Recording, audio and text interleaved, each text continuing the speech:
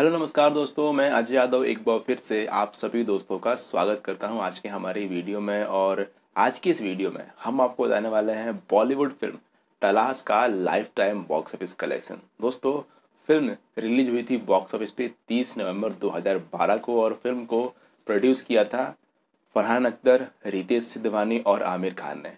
Film को direct किया था रीमा जी ने। तो दोस्तों, फ़िल्म में लीड रोल में थे आमिर खान, रानी मुखर्जी करीना कपूर, नवाजुद्दीन सिद्दीकी और राजकुमार राव। फ़िल्म काफ़ी अच्छी थी और full to family entertainment, suspense, thriller film थी। दोस्तों, इस फ़िल्म के बॉक्स ऑफ़िस कलेक्शन जानने की डिमांड की है बबलू ने तो बबलू, फ़िल्म का बॉक्स ऑफ़िस कलेक्शन आपकी डिमांड पे दोस्तों स्टार्ट करते हैं फ़िल्म का बॉक्स ऑफ़िस कलेक्शन तो जो कलेक्शन हम आपको बताएँगे वो इंडिया प्लस वर्ल्ड वाइड भी होगा तो वीडियो को पूरा देखें और पसंद आए तो लाइक करें चैनल को सब्सक्राइब करें और अपने दोस्तों को शेयर करें। तो बॉलीवुड फ़िल्म तलाश ने अपने इंडियन बॉक्स ऑफ़िस पे 91 करोड़ की कमाई की थी। फ़िल्म ने इंडियन प्लस वर्ल्ड वाइड में कमाई की थी 174 करोड़ रुपए। फ़िल्म का बजट था 40 करोड़ रुपए।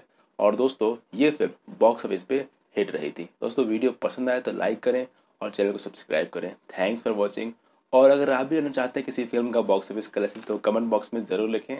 हमें आपका कमेंट का इंतज़ार रहेगा।